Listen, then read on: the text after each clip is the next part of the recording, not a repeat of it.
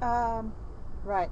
Today, uh, I'm bringing you a different kind of puzzle, something that I don't normally show.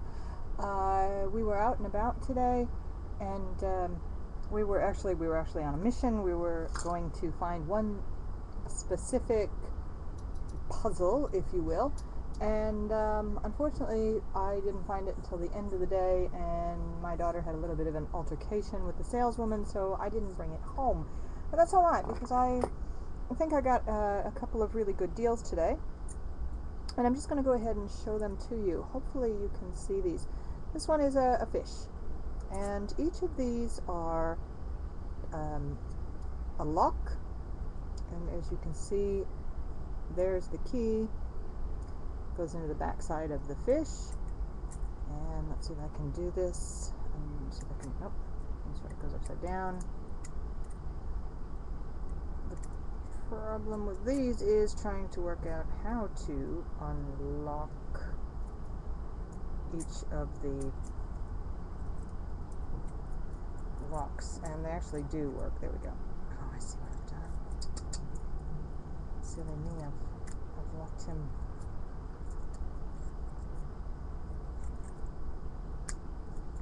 incorrectly.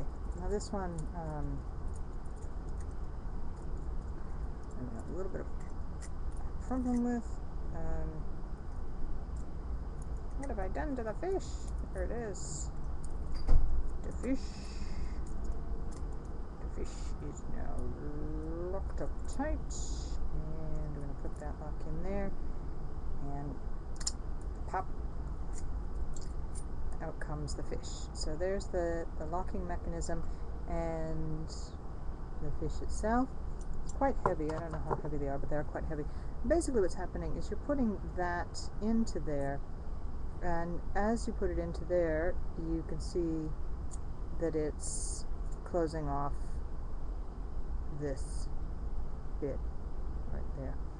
So the metal lock key going into there is shutting that and that's releasing it so that it can come out of the end of the fish. So I'm going to put that fish uh, back together again. Okay.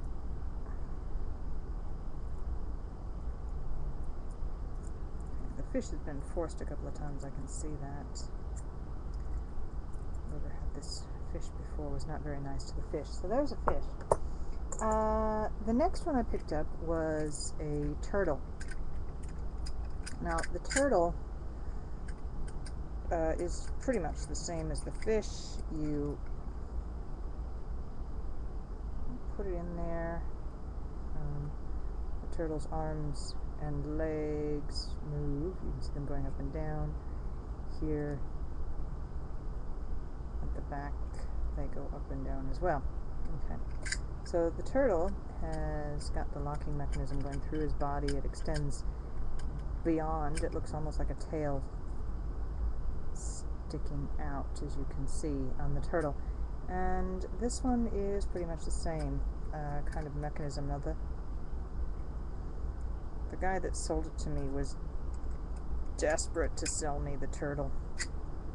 Absolutely desperate. He when I first looked at the turtle, it wasn't working, and I said, no, I'm not going to get it. Catherine and I went and we had uh, done some more shopping. We had afternoon tea with Daddy. We went and did some more shopping.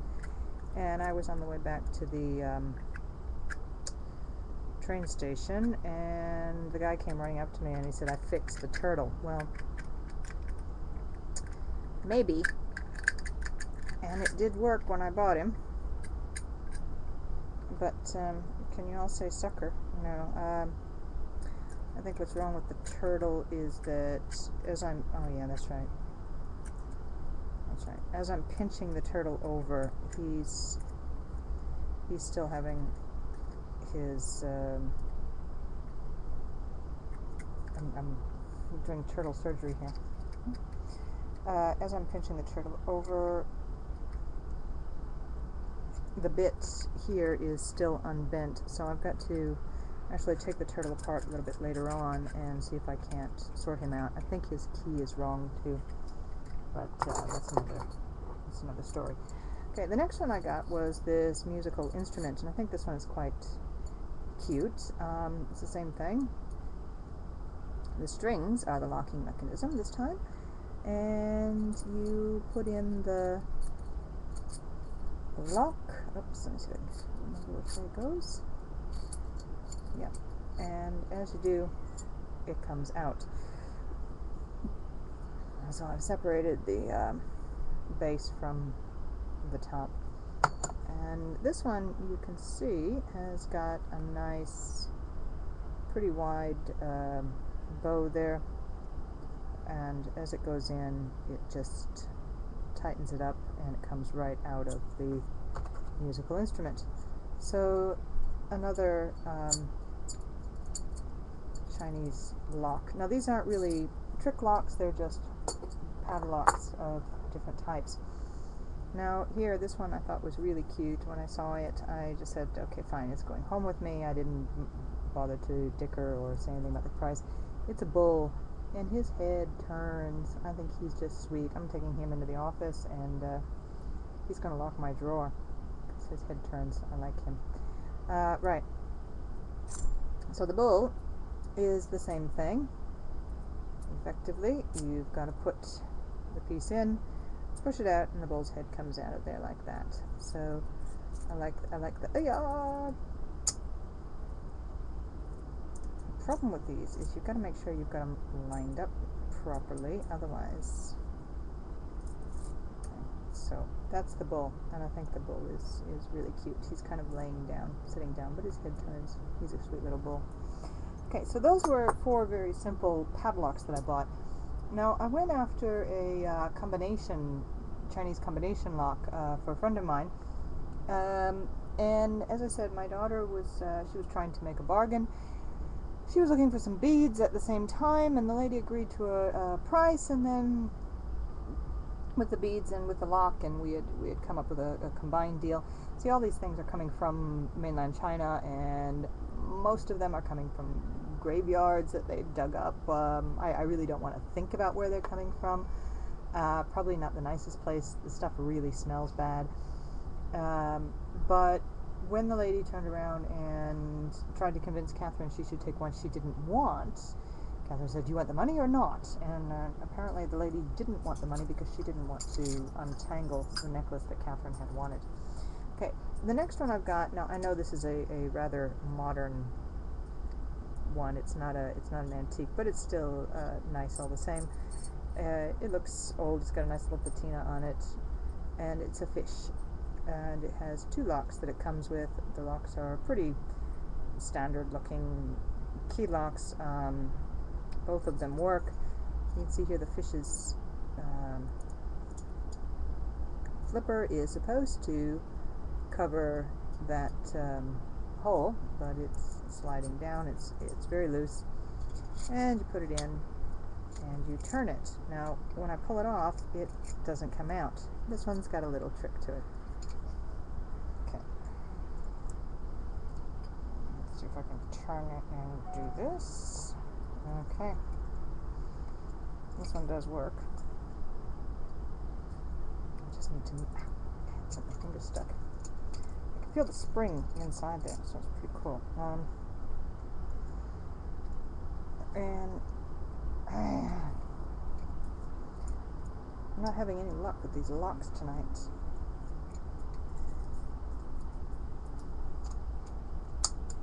Uh,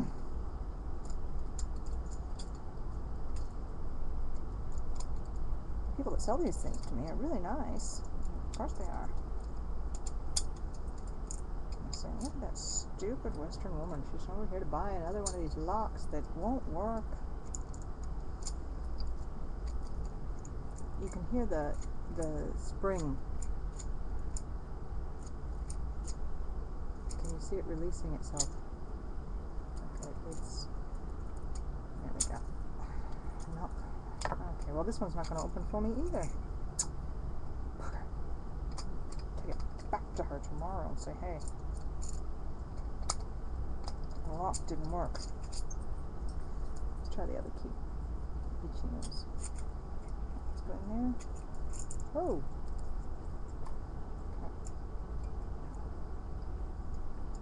Bam.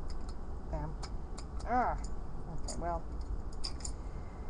At any rate, it's got a trick. When you go past the lock, this eyeball pushes in, and that should release that locking mechanism. But of course, it's not working. I'll get it to work. The other one that I bought was a turtle, and this one, again, is quite heavy. It's got um, two pretty standard looking keys that go with it. Again, a nice little patina on it. It's probably a newer lock. Um, it's got HA written on the back of it. I'm not sure what that means. Uh, on one side, and on the other side, it's got a bunch of um, different characters. Um, don't know what they say, don't know what they mean. This looks like a, a, a lotus flower motif, something to that effect. Anyway, this one's pretty much the same. You turn it, and it comes to a certain point. What a key. Just spins and spins and spins. Okay. Alright, when you get to that